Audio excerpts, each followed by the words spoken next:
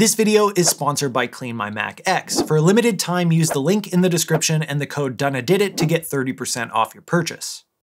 In the comment sections of a bunch of recent videos, I've been getting asked over and over to do a tutorial on how I do the smooth zoom effect, something like this.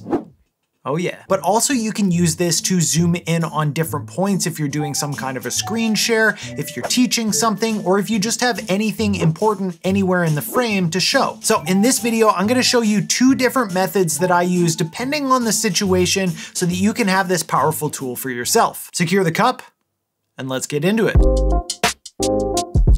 Like I mentioned, there are two different methods that I use to do this smooth zoom effect. The first one is the easiest, but it's also the most limited. It works best if you're using it on something where you want to, let's say, zoom in a little bit for a punchline or an important note, but then you're just gonna zoom straight back out to the full frame, or even cut after the zoom in. The second method, while still being simple, has a little bit more to it, but allows you to do a lot more with it. This is the method that I use a lot in my tutorials when I want to zoom in on something and then maybe move to some somewhere else in the frame. You can do a lot more with this one, but it does take a little bit more to put it together. All right, let's get into the first method. We're just gonna do a simple little zoom into my face here. So we've got this shot where I'm just thinking here or looking grumpy. We're gonna make sure we're selected on that clip. We're gonna go up into our inspector in the top right. If you're not seeing that, you can click inspector here to open that up. And then right beside where it says zoom, we're gonna click on this keyframe button and that's going to add a keyframe at that point, and we'll see what that does in a second. Now let's move forward by 10 frames, so I'm just hitting the right key, one, two, three, four, five, six, seven, eight, nine, 10, and then I'm going to just type in here, so we're gonna go zoom, I'm gonna go 1.3 and then you can see that it zoomed in. You can also see that it added a keyframe here, so it automatically turned that red. Now the catch here is that it's cut off my head, so I haven't zoomed in perfectly on my face. It might be tempting to go into our position and keyframe that as well. So we can click this back arrow to go back to our first keyframe. So we could turn on the position keyframe there and then go back to the second one like that. And then we can use our Y to adjust. Now right now this looks not bad but it doesn't look like that nice smooth kind of zoom like what you saw earlier. So the way that we get that smooth zoom is by adding a Bezier or an ease in and ease out of our keyframes. And there are a couple of ways to do this. The first way is that you can go to your clip and you can click here to show your splines. And I'm gonna have to make some more room so we can see this. Now, if we zoom in here a bunch, you can see that this is a perfectly straight line. So what we can do to make these kind of ease in and ease out is we can click on the first one and click this ease out button so see how it has the little curve instead of the straight line. So we're gonna click that, and then we can click on the next one, and we want it to ease in. And so now, instead of it being a straight line from point A to point B, it's this nice curve. And so we'll see that it changed a lot.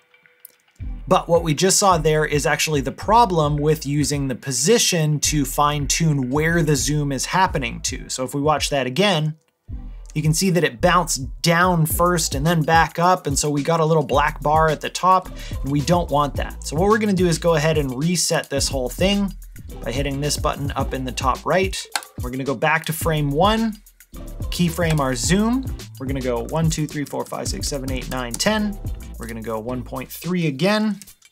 And right now the zooms are linked, so whatever I do on the Y, it's gonna happen to the X. If you don't have that, you're gonna zoom and stretch out your frame all weird. So we want those linked. And then instead of using position to move where we zoomed into, we're actually gonna use this anchor point. So I'm gonna go to Y on the anchor point, and I'm gonna drop that down to kind of where I want it. And the interesting thing about using the anchor point as you're positioning is that you don't actually have to keyframe it either. As you zoom back out, it automatically goes back to the right framing. So if we play this, we've got a zoom into the right place again. And then if we want to add that ease in, we can click here again, got our zoom. This time it chose zoom Y, I'm not sure why. We're gonna click on the first one, click ease out, Click on the second one, ease in, and then it looks like this. There we go. Now we've got that nice zoom in. The other thing that you can do is once you've got your ease in and ease out here, you can click on the point and then it gives you a spline point here so you can actually mess with how that transition happens. So if let's say we wanted it to go a little bit further than the zoom and then come back, we can push this up a little bit. Now it'll look something like this kind of bouncy. Most of the time, I don't actually go to the splines down here anyway. So now we're back to our straight linear zoom. The way that I do it is I'll go to my first keyframe here and then I right click on the red keyframe and I hit ease out. Then I click this little dot to go to the next one and I right click again and go ease in and it automatically made that for me. So if I open that back up, you can see it's got the ease out and ease in, and we've got that nice smooth zoom. So really quickly, just to show you how simple this is and how quick it can be, I'll go to frame one, I'll hit keyframe, I'll go one, two, three, four, five, six, seven, eight, nine, 10, I'll go 1.3, and then I'll fix my anchor point and right click, ease in, go back to the first one, right click, ease out, and I'm done. And then if you wanted to zoom back out afterwards, you could just put a keyframe where you want that zoom out to start. So let's say we wanted to go there. So we're gonna keyframe there. And we're gonna go one, two, three, four, five, six, seven, eight, nine, 10. I like to do 10, do whatever feels right for you. Then we're gonna go back to one. And again, because we use the anchor point instead of the position, we don't actually have to change anything. We're gonna go again, right click, ease in, go back to the previous one, ease out. Now we've got this zoom in and zoom out. Now the question happens, what if we want to zoom into somewhere and then zoom to another spot and then zoom to a third spot and then zoom back out? This definitely gets a little bit more involved, but I promise it's still easy. But before I get into that second method, my MacBook is running a little sluggish right now, so I wanna show you guys Clean My Mac and thank them for sponsoring this video. I've been a Clean My Mac user for years now, so when they reached out and asked me to share with you, it was a no-brainer. This is Clean My Mac X, and the beauty of it is just how simple and powerful it is. The main way that you can use it is their smart scan feature. When you hit scan, it looks through your whole computer for any junk files that you don't need so you can delete and free up space. It finds any kind of protection problem, so if you have any malware or anything like that,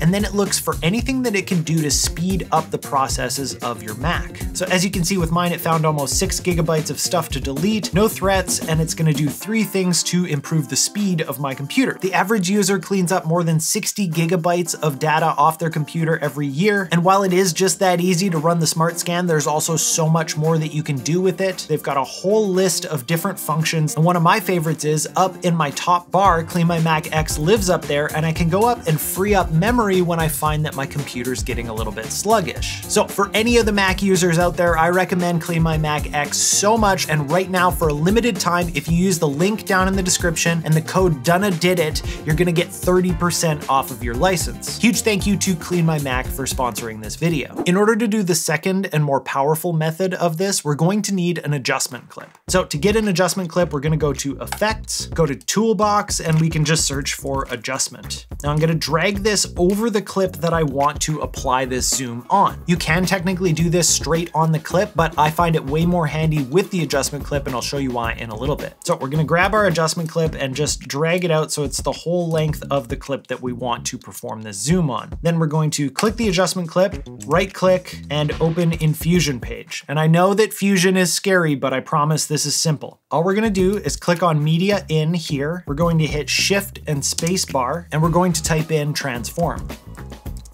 We'll use this transform XF and we'll just click add. Now it put it between media in and media out. If it didn't happen, you just need to connect it up like this by dragging these lines around. Now, let's say in this clip, all we wanna do is we want to zoom in on the middle section where something is happening in the middle of this screen, but then once that thing is gone, you see the cursor moves over to the left-hand side of the screen. So we're gonna wanna zoom into the middle and then move over to the left. We're gonna go to transform, create a keyframe on size, then we're gonna go over by 10 frames. So we're gonna go right, one, two, three, four, five, six, seven, eight, nine, 10. I'm gonna zoom in to two times. It automatically created another keyframe. And because we want to zoom directly into the middle, we don't have to do anything with the center or pivot. And then all we want to do is create that smooth ease in and ease out. And the way that we do that is we're going to open up our spline. So that's up here.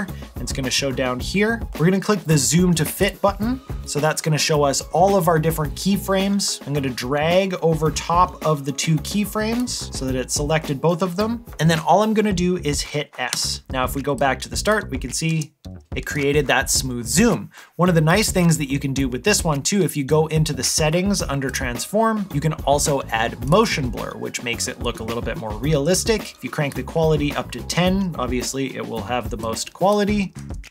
So now you've got that little bit of motion blur if that's something that's really important to you, so it actually looks like a camera is zooming in towards the subject. This does bog down the computer a little bit, so most of the time, especially when I'm doing tutorial stuff like this, I just don't worry about it and I leave it off. Now we're gonna find the point in the middle where we need to go over to the left-hand side. So you can see that dialog box goes away, and then the cursor goes over to the left. So we're gonna follow it, maybe starting right about there. We're gonna put a keyframe on our size, and we're also gonna put a keyframe on our center. And we're gonna go over one, two, three, four, five, six, seven, eight, nine, 10. Then I'm gonna use, you can either use the controls over in your inspector here, or you can drag this box in the middle. I find it a little bit easier just to use the controls over in the inspector. So I'm gonna use my center X, maybe center Y a little bit. And then what the heck, let's zoom in a little bit more, 2.5 times. Okay, so we've got our linear move like that. Move that down a little bit. The dialog box pops up lower than I thought. And then down in our spline box, we're gonna hit zoom to fit again. Now here's our first move and here's our second move, but because in the first move we didn't change the center point at all, we only had the one thing to do. In this case, we've got our zoom and our center point down here. So we're just gonna highlight all four of those points and we're gonna hit S. And now we've got a nice smooth zoom. After that's done, it goes over to the left-hand side. Now let's do this quickly one more time. I wanna show you why I think using the adjustment clip instead of doing it straight on the clip is the better option. So let's go back to our first clip, but we're gonna do a little bit more with it. So what I wanna do with this shot is I'm looking grumpy, I wanna zoom in on my face, looking a little confused, and then over to smooth, and then over to zoom, and then back out. So one of the beauties of doing it with an adjustment clip is that we can put the adjustment clip over top of all of those things so that it'll zoom in and zoom on the text as well. Right click that, open in Fusion page. I'm gonna do this a little quicker so that you can just see how I would handle it. Right about there, we're gonna go center and size. Go one, two, three, four, five, six, seven, eight, nine, 10. I'm gonna zoom in to two. About there. Make it so I can see it. Hit S, and we're gonna move over. Bam. That's the point I want it to land. So we're gonna go one, two, three, four, five, six, seven, eight, nine, 10 to the left. And then we're gonna make a keyframe there. Then go back to our landing point, change our center, maybe even zoom out just a little bit, 1.7. We're gonna smooth that one. Then we're gonna do the same thing. There's the start of the move. So I'm gonna hit key point there. I'm probably not gonna have to change the size, but just in case, I'm gonna make a key point or a keyframe there. 7, 8, 9, 10 happens to work pretty nicely. There we go. I'm gonna make another keyframe on the size just in case. I'm gonna smooth those out. Right where I start to move, I'm gonna make another keyframe. 1, 2, 3, 4, 5, 6, 7, 8, 9, 10. I'm gonna go back to 1, 0.5, and 0.5, which is back to normal. We're gonna smooth those out. And what the heck, let's do some motion blur on that. Crank it up. And then we've got this.